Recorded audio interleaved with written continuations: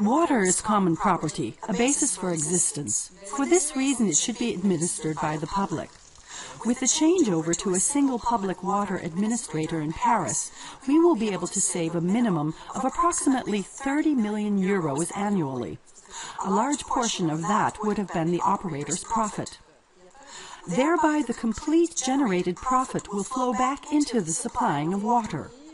That money will not be used for anything else. That's an important point. This way we can keep the price for water stable and still assure a high level of investment and service.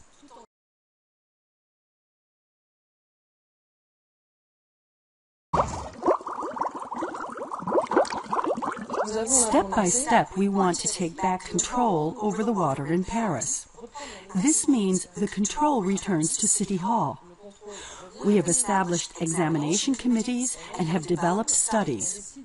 Already in 2003 and 4, we renegotiated the contracts to reclaim the investment reserves from the operators. The chief executives of Veolia and Suez didn't take it too well, as we learned from the press. They labeled the recommunalization as a mistake. In this French newspaper, they stated the following on the topic.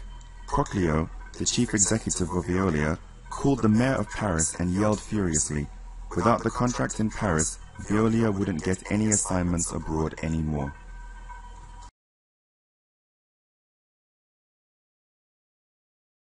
over 200 years old and still functioning.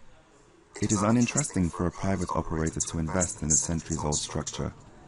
Their contracts are limited to 30 years, but investments within the area of water are only profitable after 30 to 60 years.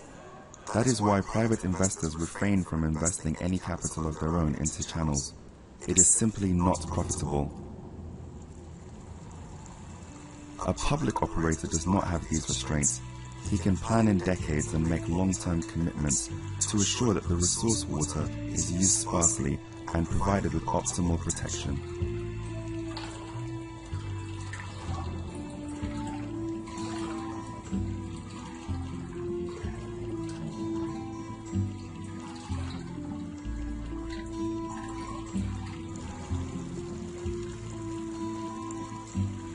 The protection of larger bodies of water is a big challenge.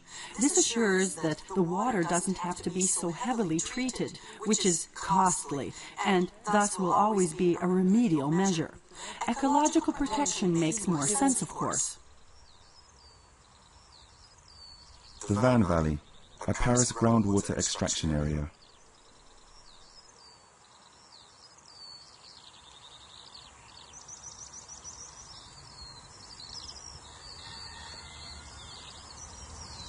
Euh, to protect the resources, Eau de Paris bought land here. The goal is to permanently alter the local agriculture to gain influence over the resources.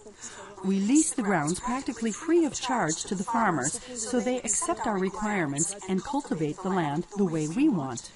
Euh, pour que lui puisse respecter des contraintes et cultiver euh, ces parcelles-là comme nous on le souhaitons. The adjustment will take about five, six years until we are 100% organic. This influences the water, the ground, the well-being and health of the people. That's why it was logical for us to join with Eau de Paris. Of course, we'd like a large-scale organic cultivation very soon, where an improvement of the quality of water would be recognizable. But that is still a dream of the future. Du mal à réussir à faire.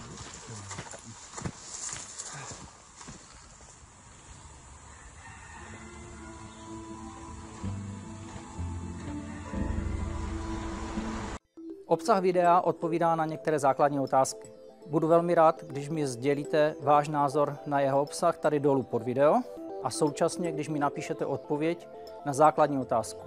Kdo má dle vašeho názoru mít v rukou českou vodu, vodárenskou infrastrukturu, hospodaření s vodou a peněžní toky a zisky z vody?